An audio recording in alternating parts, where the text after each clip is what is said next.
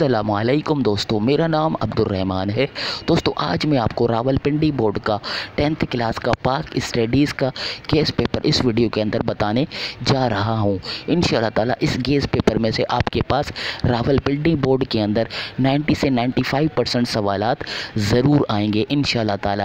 تو اس ویڈیو کو آخر تک دیکھیے اور جانیے پورا گیس پیپر۔ اگر آپ ہمارے چینل کے اوپر نئے ہیں اور اس طرح کی پورے پاکستان سے، اسکولز، کالجز اور یونیورسٹیز کے ایڈمیشن رزلٹ اسکالرشپس اور بے تحاشا ایجوکیشنل نیوز کے ساتھ آپ ویڈیوز دیکھنا چاہتے ہیں تو اس چینل کو ابھی سبسکرائب کریں اور اس بیل کے آئیکن کے اوپر بھی پریس کر دیں تاکہ ہماری ویڈیوز کے نوٹیفیکیشنز سب سے پہلے آپ کو بھی مل سکے چلیے، شروع کرتے ہیں۔ دوستو، آپ کو پاکستان اسٹڈیز ٹینتھ کلاس کے گیس پیپر کے اندر سب سے پہلے آپ کو مختصر یعنی شارٹ سوالات بتاتے ہیں، اس کے بعد آپ کو لانگ سوالات بتائیں گے۔ تو پہلا جو شارٹ سوال ہے، وہ ہے یونین کونسل کے دو فرائض لکھیں، ٹھیک ہے؟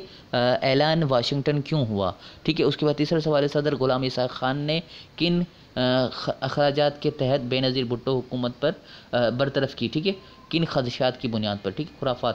مشرف دور حکومت میں خواتین کے لیے دو اقدامات لکھیں، ٹھیک ہے؟ اس کے بعد اعلان لاہور سے کیا مراد ہے؟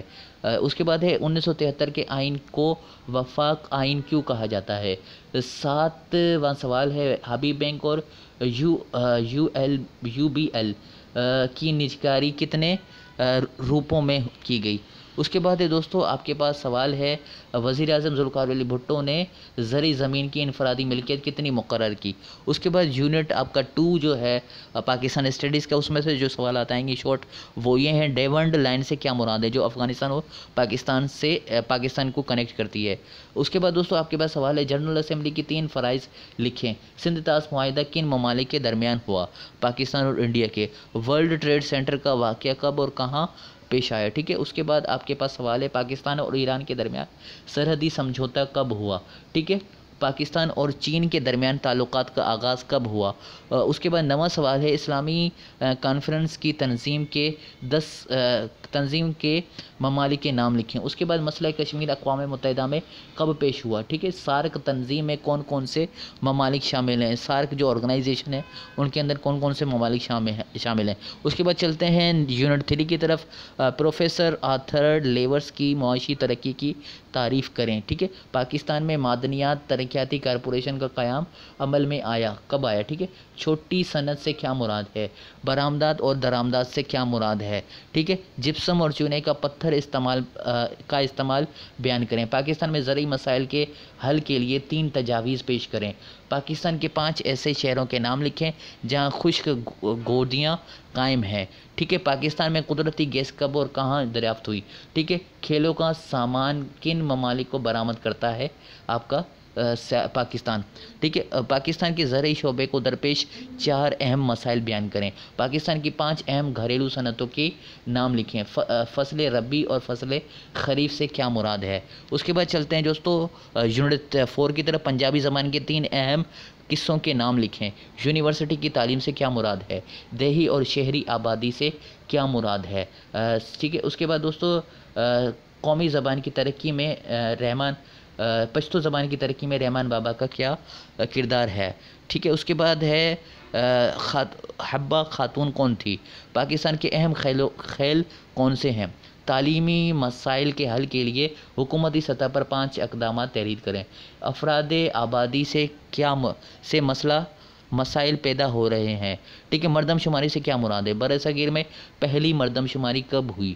آبادی کی گنجانیت سے کیا مراد ہے؟ اس کے بعد دوستو، آپ کے پاس جو ففتھ یونٹ ہے، اس میں سے سوال ہے، صنف کی تعریف کریں۔ ٹھیک ہے، تشدد سے کیا مراد ہے؟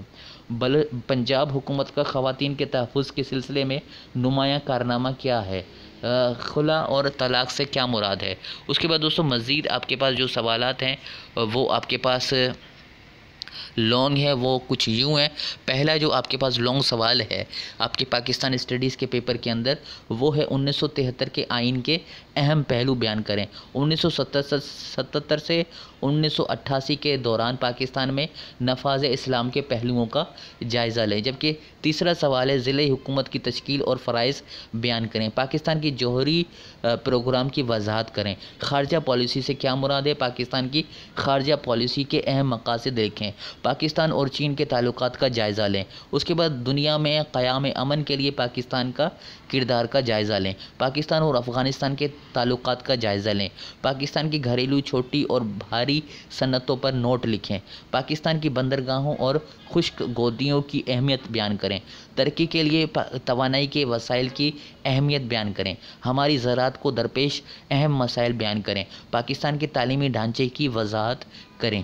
اس کے بعد پاکستان کے اہم معاشرتی مسائل کی وضاحت کریں۔ اس کے بعد اردو زبان پر نوٹ لکھیں۔ تو دوستو، آج ہم نے آپ کو پاکستان اسٹڈیز کا ٹینتھ کلاس کا گیس پیپر بتایا۔ تو دوستو، اگر آپ کو اگر آپ کو اس کے اندر کچھ سمجھ نہیں آیا یا آپ کو ویڈیو کے اندر صحیح طریقے سے دکھائی نہیں دیے لفظ یا ہم نے پرننسیشن میں کچھ غلط کر لی، تو آپ کی سہولت کے لیے ویڈیو کے ڈسکرپشن میں ہم ایک لنک دے دیں گے۔ وہاں پہ ہم پورا یہ گیس پیپر آپ کا پاکستان اسٹڈیز کا اپلوڈ کر دیں گے۔ آپ جو ہے وہ ویڈیو کے ڈسکرپشن میں جائیں اور وہاں پہ ایک لنک ہم نے دیا ہوا ہے۔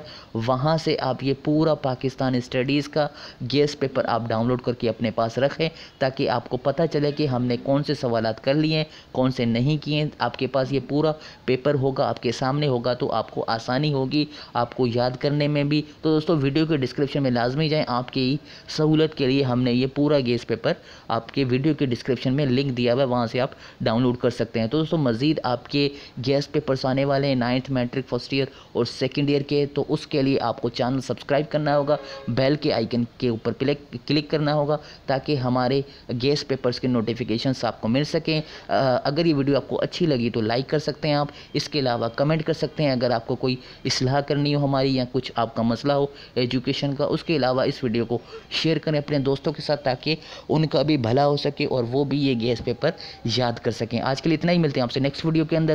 اللہ حافظ دوستو، پاکستان زندہ باد۔